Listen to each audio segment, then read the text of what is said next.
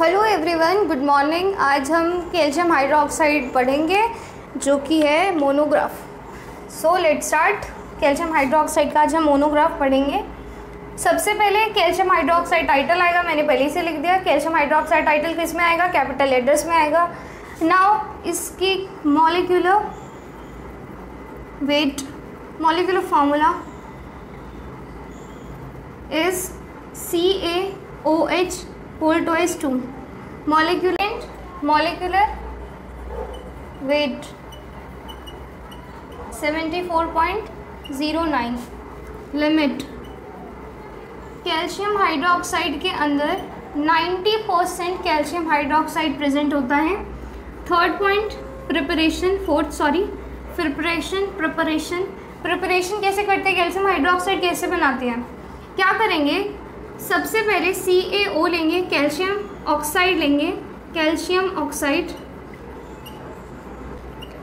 जिसको एक lime, quick lime quick lime. Calcium hydroxide का कॉमन नेम है स्लेक्ड लाइन, से स्लेक्ड लाइन। क्या करेंगे कि कैल्शियम ऑक्साइड के अंदर जब हम वाटर को डालेंगे, कैल्शियम हाइड्रोक्साइड के अंदर जब हम वाटर को पोर करेंगे तब हमें मिलेगा कैल्शियम हाइड्रोक्साइड और बबल्स निकलेंगे। बबल्स निकलेंगे बबल से हीट निकलेगी हीट हीट निकलती है बहुत लार्ज क्वांटिटी में। इट मीन्स ये एक एक्जोथर्मिक रिएक्शन है। एक्जोथर्मिक रिएक्शन एक्जोथर्मिक रिएक्शन में क्या होती है? हीट इवॉल्व होती है।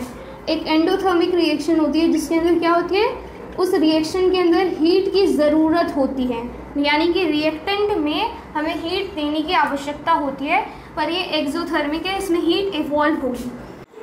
Now physical property of calcium hydroxide calcium hydroxide का जो टेक्सचर होता है, कैसा दिखता है? क्रिस्टल फॉर्म में पाउडर ग्रेन्यूल तीनों फॉर्म में हमें कैल्शियम हाइड्रोक्साइड मिल सकता है। इसका ऑर्डर क्या होता है? कोई ऑर्डर नहीं होती, कोई स्मेल नहीं होती ऑर्डरलेस होता है। देन उसके बाद उसका टेस्ट टेस्ट क्या होता है? Test is alkaline alkaline calcium hydroxide alkaline है। सो फ़र्स्ट क्लास में हमने पढ़ा था कि अगर कोई भी एल्कलाइन होता है तो उसका टेस्ट बेटर होता है, यानी कि कैल्शियम हाइड्रोक्साइड का जो टेस्ट है वो बेटर टेस्ट है। नाउ एक रिएक्शन आते हैं फ़िज़िकल प्रॉपर्टीज़ के अंदर। अगर कैल्शियम हाइड्रोक्साइड कार्बन एटमॉस्फेयर में जो कार्बन ऑक्साइड डाइऑक्साइड प्रेजेंट है, उसके साथ अगर रिएक्ट करेगा रिएक्ट करेगा तो हमें कैल्शियम कार्बोनेट मिलेगा कैल्शियम कार्बोनेट मिलेगा, जिसको हम लाइम स्टोन भी कहते हैं। लाइम स्टोन भी कहते हैं। एक और पॉइंट यहाँ पर ये है कि अगर आपके एग्ज़ाम में रिएक्शंस आती है लिखने के लिए, यानी कि सपोज़ रेट की दो मार्क्स की आपके वो कोई रिएक्शन है लिखने के लिए तो आपने रिएक्शन तो लिख दी। रिएक्शन लिखी, आपको लगा कि इसमें हमें दो मार्क्स के दो मार्क्स मिल जाएँगे। पर आपकी आंसर शीट हाथ में आई और आपने देखा उसमें आपको हाफ़ नंबर या एक नंबर आपको दे रखे और एक नंबर आपके कट हो रखे है। तो ऐसा होता क्यों है, ये आप समझते हैं। कभी भी आपको अगर रिएक्शन लिखने के लिए आए एग्ज़ाम में तो आपको पहले रिएक्शन लिखनी है देन उसके बाद रिएक्टेंट में जितने भी मॉलिक्यूल रिएक्ट करें, उनके नाम लिखने हैं, उनके नाम लिखने हैं। चाहे वो आसान से आसान ही क्यों ना हो, उनके नाम ज़रूर लिखिए। कार्बन डाइऑक्साइड सबको पता होता है, मैम को पता है कि बच्चों को पता है। तभी भी आप लिखिए ताकि इंप्रेशन अच्छा पड़े। बट मैम जो है, अच्छे से आपको मार्क्स दे। ना जितने भी प्रोडक्ट में आए, अगर इसके साथ में कुछ बाय प्रोडक्ट भी आएँगे, उनके भी नाम लिखिए। जो मेन मेन प्रोडक्ट है, उसका तो नाम लिखना ही लिखना है बाई प्रोडक्ट के भी नाम लिखिए। सपोज़ डेट अगर कुछ इवॉल्व हुआ है लाइक एन हमें गैस मिली, या हाइड्रोजन गैस मिली, या हाइड्रोजन क्लोराइड गैस मिली तो वो इवॉल्व हो रही है। गैस है तो इवॉल्व होगी तो ऐसा साइन लगाए। अगर कुछ प्रेसिपिटेट हो रहा है, कोई पिपिटी बन रही है तो ऐसा साइन बनाए। ऐसे में अगर ऐसा आप लिखेंगे ना, ऐसे रिएक्शन लिखेंगे तो आपको full out of full marks मिलेंगे। तो आप जो अगर पीछे के क्वेश्चंस नहीं भी आते आपको तो इसमें तो आप एकदम श्योर हो कि हमें मार्क्स मिलेंगे ही मिलेंगे। सो so, ऐसे ही रिएक्शंस लिखिए। नाउ लाइमस्टोन नाउ लाइमस्टोन को अगर कैल्शियम कार्बोनेट को अगर हम हीट कर देंगे हीट कर देंगे तो ये कैल्शि तो ये कैल्शियम ऑक्साइड में और CO2 में टूट जाएगा।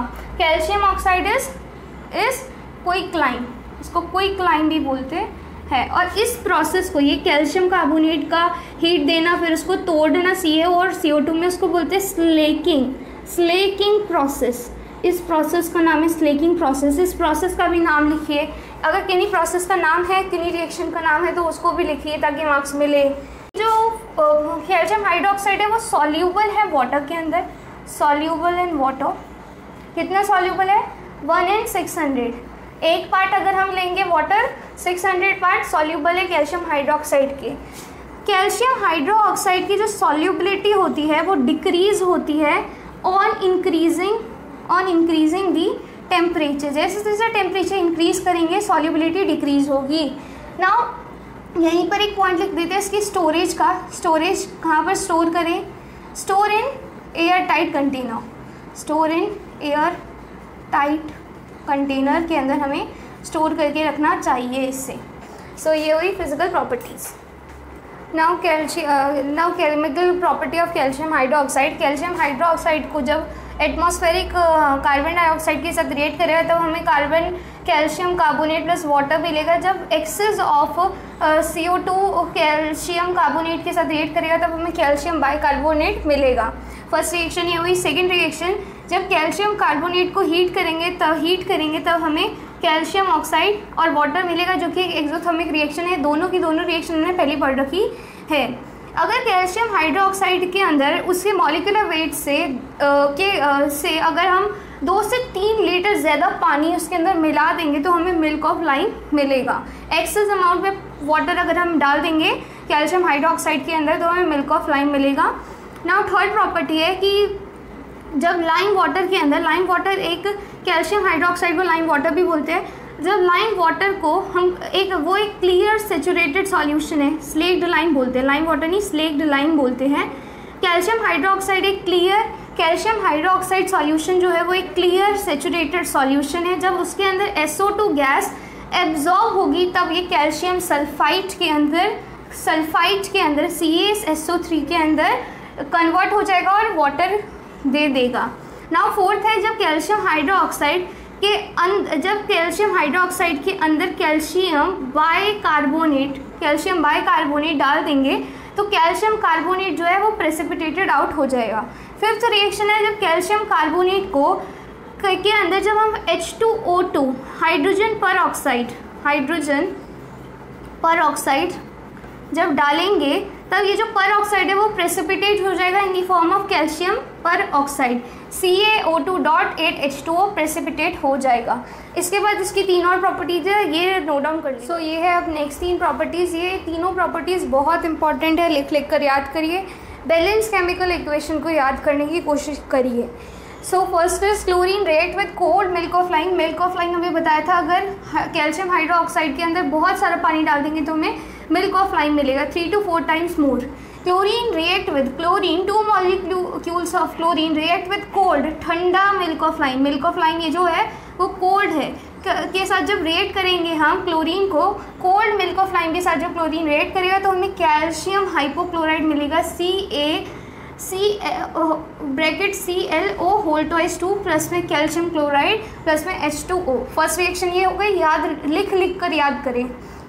Next one is with hot milk of lime ये hot milk of lime chlorine chlorine कितना molecule six molecule of chlorine yield calcium chlorate C A bracket C L O three whole twice two calcium chlorate calcium chloride और water तो तीनों में common है। ये आग बंद करके बाई प्रोडक्ट लिख दीजिएगा। Now third is chlorine react with cold ये कोल्ड भी होना चाहिए मिल्क ऑफ़ लाइन ड्राई भी होना चाहिए। मतलब कि कोई वाटर नहीं है इसके अंदर। कैल्शियम हाइड्रोक्साइड मतलब कि ये मिल्क ऑफ़ लाइन नहीं है सिंपल है। सिंपल मतलब एकदम ड्राई फॉर्म है कैल्शियम हाइड्रोक्साइड की।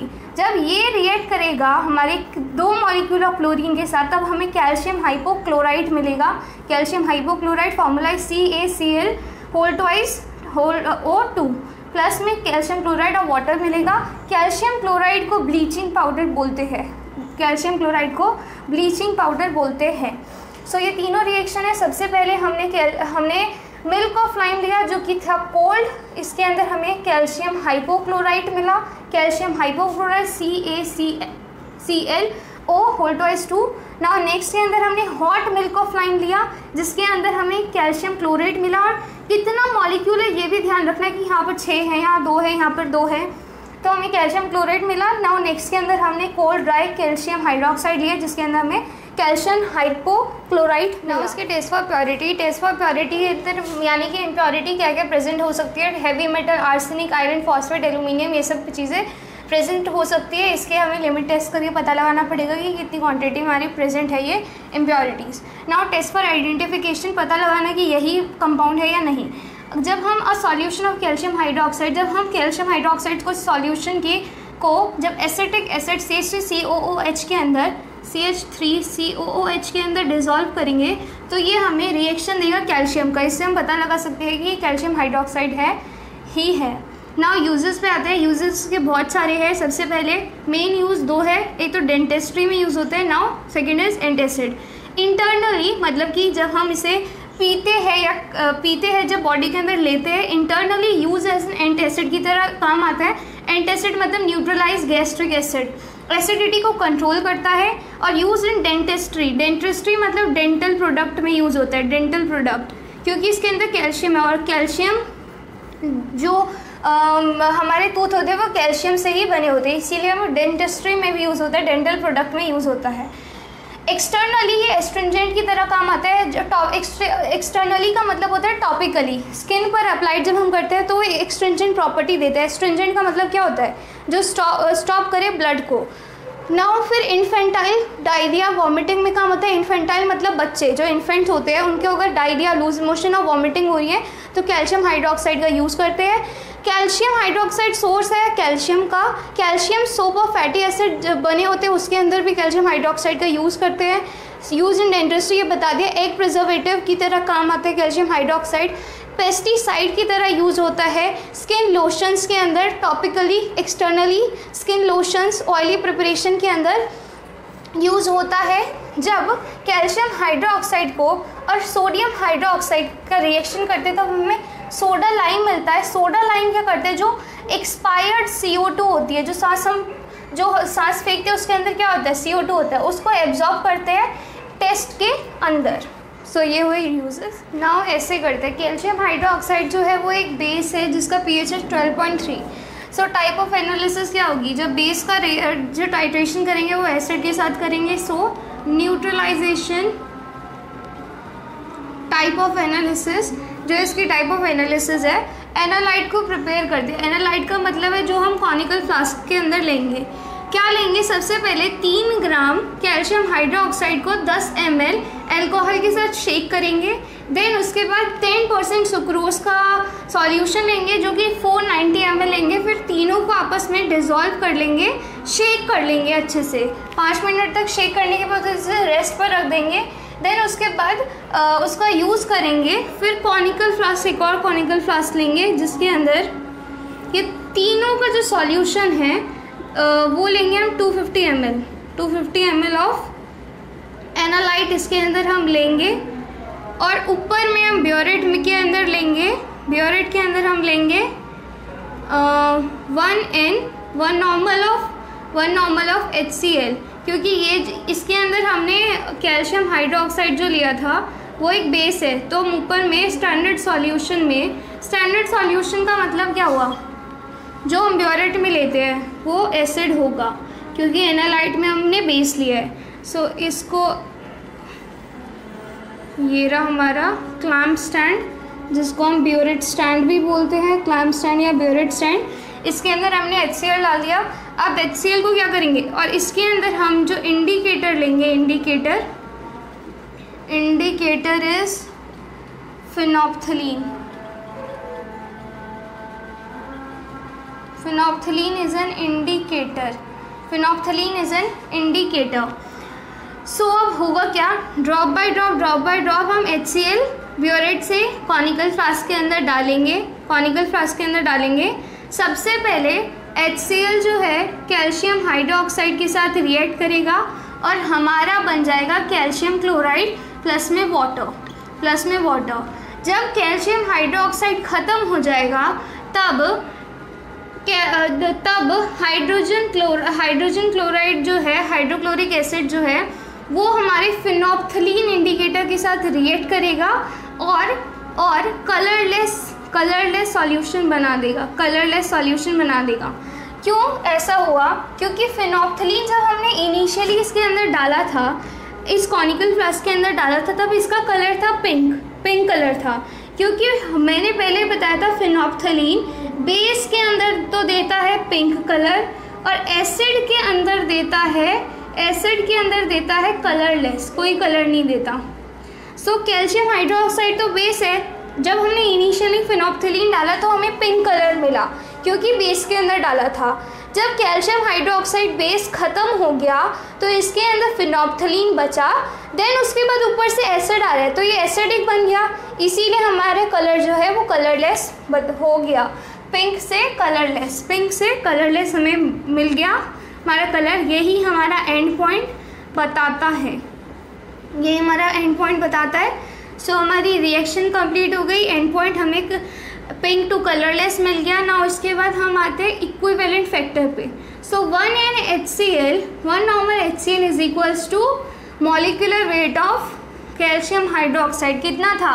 Seventy four point zero nine को जब हम थाउज़ेंड से डिवाइड करेंगे क्योंकि यहाँ पर वन एन है. अगर ज़ीरो पॉइंट वन एन होता तो टेन थाउज़ेंड से करते. सो so, ये जो पॉइंट ये जो पॉइंट है वो तीन आगे आ जाएगा। एक दो तीन। सो so, क्या मिल हमें क्या मिल गया? हमें मिल जाएगा zero point zero seven four zero nine seven four zero nine हमें मिल गया।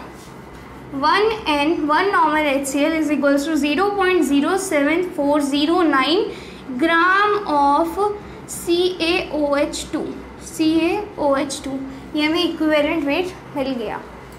Thank you so much